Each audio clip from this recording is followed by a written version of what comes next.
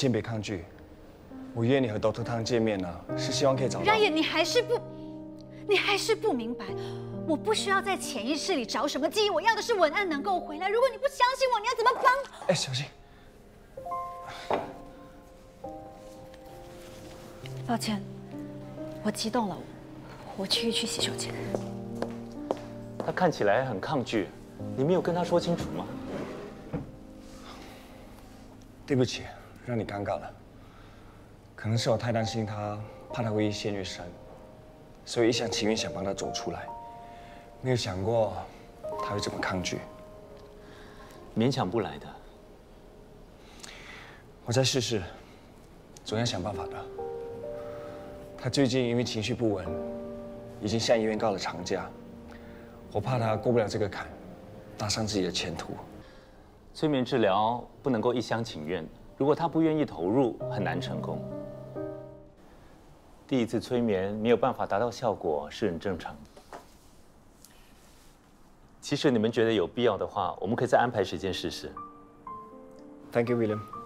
谢谢你抽空过来帮忙。不客气。其实他在潜意识里没有看到你想要的东西。很大的可能是因为你所相信的曾经，并不是他的经历。你说的一次催眠未必成功，那么就安排时间再试。好的，没有问题，我们下次见。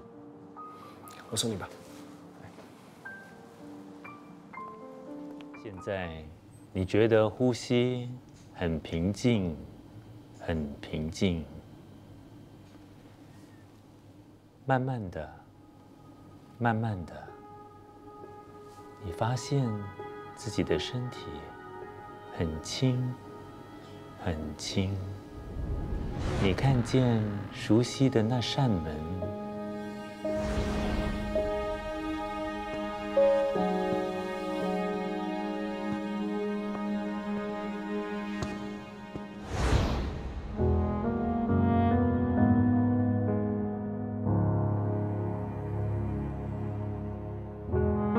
你是文安。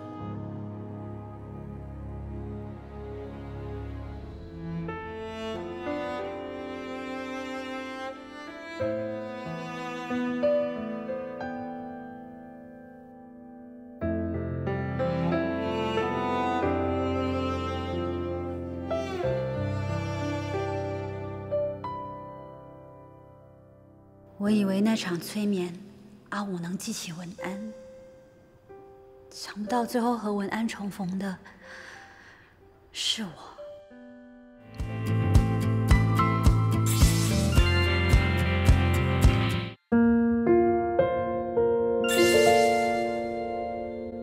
像你们这种情况做催眠，其实难度真的还挺高的，未必能够达到理想的效果。怎么说呢？毕竟接受催眠的是他，而他却没有半点你所说的回忆。他的意识里是有记忆的，我很确定。我们试试好吗？好，可以啊。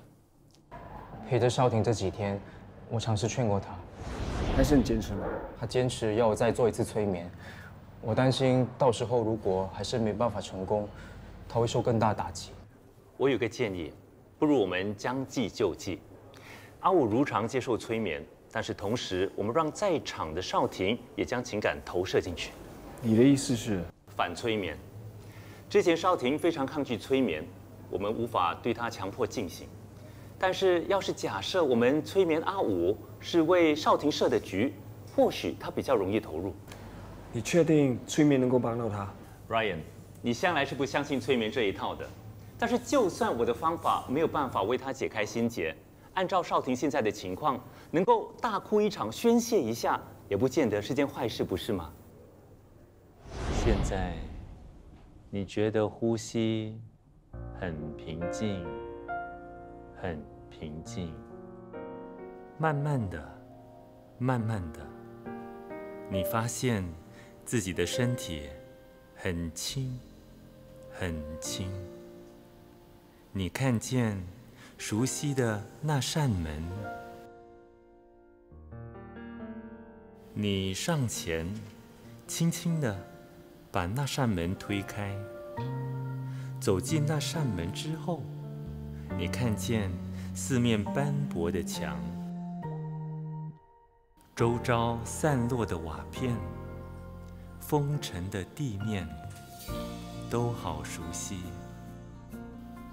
那是你们的曾经。